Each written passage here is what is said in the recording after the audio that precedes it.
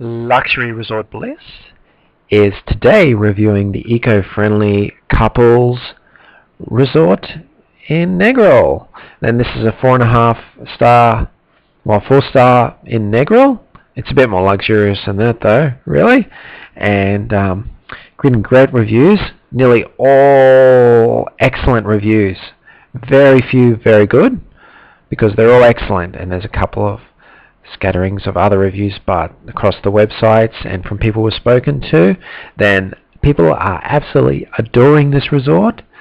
Um, not many people come home without having a great experience. They're loving swimming all the water sports available. They love going out on the catamaran. They love the red flag service. They love the variety of I think there's four bars and uh, swim up bar included. And it's a really is a, a full all-inclusive resort. Um, there's lots to do. It's uh, it's situated on a stretch of pure white sand uh, next to the Caribbean. It's a beachfront playground.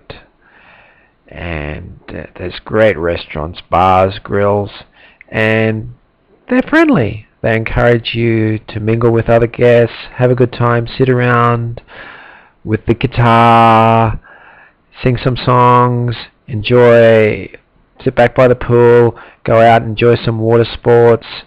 Um, uh, there's breakfast in the morning. There's full breakfast. There's uh, there's a piano bar with a, there's private beach, uh, water sports, scuba, tennis, unlimited golf yoga, meditation. You can take a glass bottom boat tour. jump on the shuttle, go to Margaritaville for the day, or do some shopping. There's simply a lot to do, and there's a lot of people enjoying this place. It's full of charm. It's full of relaxation. We wouldn't say it if it wasn't, because we only review the best on luxuryresortbliss.com. And at the moment, we have a special offer of the seventh night free. Then if you hit that link below, jump over to luxuryresortbliss.com and you can get a great special on this fantastic resort.